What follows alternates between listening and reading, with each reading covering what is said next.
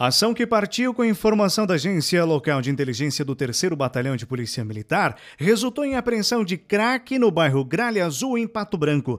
Um homem foi preso assumindo ser dono da droga. A equipe da Agência Local de Inteligência repassou a equipe de serviço que aqui no bairro Gralha Azul, no município de Pato Branco, estaria ocorrendo a comercialização de entorpecentes. Então, diante dos fatos, a equipe deslocou até o local, né, onde em abordagem à residência foram localizados 311 gramas de substância análoga ao crack e com o apoio do canil do 3 Batalhão do Cão Max, foram localizadas mais 11 gramas de maconha.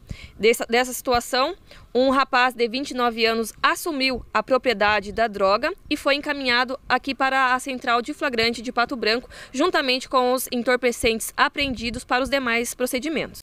Além do trabalho de investigação da polícia, estas apreensões não são por acaso. A ajuda da população sempre é muito bem-vinda e pode ser de maneira anônima. Tenente Conrado reforça que qualquer informação contribui para que ações como esta, realizada na quinta-feira, resultem em prejuízo ao crime organizado. Tanto a população informando, fazendo denúncias via 181, 190 ou diretamente aos policiais militares né, que trabalham diuturnamente nas ruas. Então é feito esse levantamento pela equipe da agência local de inteligência que monitora o local em razão da grande movimentação, entrada e saída de pessoas, né, que é realizada então a abordagem nessa residência e no caso né, de ontem constatado ali a grande quantidade de entorpecente, né, 311 gramas de crack, mais uma porção ali de substância análoga à maconha, que resultou então na apreensão dessas substâncias e na prisão do autor.